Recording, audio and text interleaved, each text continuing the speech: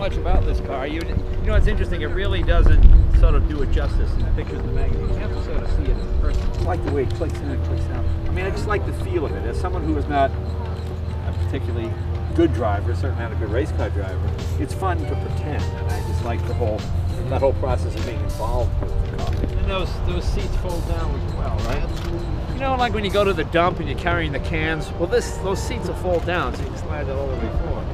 Yeah, very nice.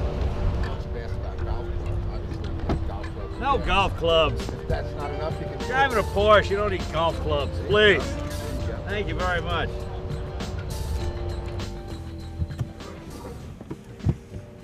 Well, it sure feels like a Porsche in here. Okay.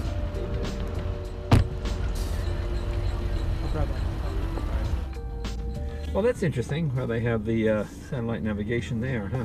Yeah. Rather than over here. And both. And Oh, you have it in both places.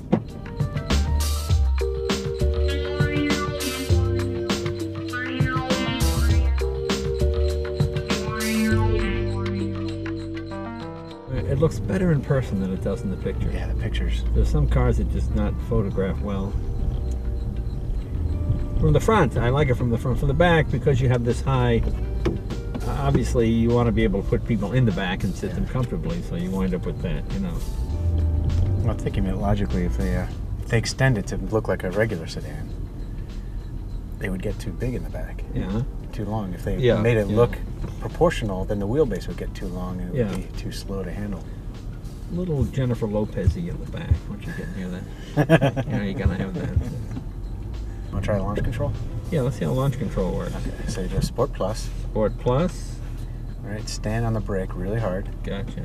and go fast to the um, throttle and then release the brake. You, do I bring it up to like three grand and release It- brake? No, no, you go flat on the gas. Okay. It'll take it to a rev limiter, and when you Okay, release the we go. brake, it'll go down to a Release the brake as I nail it.